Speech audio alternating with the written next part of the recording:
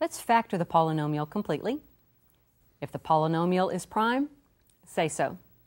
Here our polynomial is 8k to the third plus 64. Let's begin by factoring out a greatest common factor. We see that each of these terms has a factor of 8. So let's factor that out to the front. 8 times k to the third is 8k to the third. And 8 times 8 is 64. Now let's see if we can continue factoring. Don't stop there.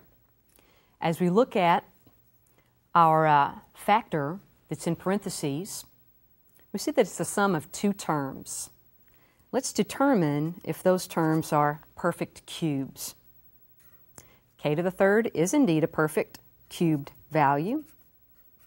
And this 8 is a perfect cube as well. It is 2 to the third, or 2 cubed. So what we have here is a special form, a sum of cubes. Sum of cubes follows the factoring format of a to the third plus b to the third factors as a plus b times a squared, here comes our minus sign, minus ab plus b squared.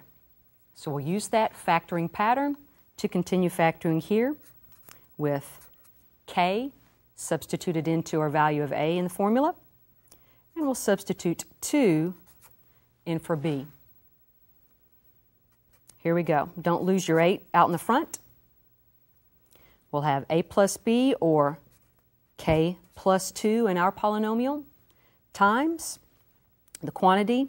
In place of A, we'll put K, so we'll have K squared, the minus sign, minus the product of K times 2. Let's write that as 2K, plus that last term, 2 squared. Let's take one more step. Clean this up a little bit by squaring that 2. So this becomes 8 times k plus 2 times a k squared minus 2k plus 4. We can check by multiplying back, ensuring that we get the original polynomial. I think you'll find that we will indeed get that, and then we do have the completely factored form of 8k to the third plus 64. It is 8 times k plus 2 times k squared minus 2k plus 4.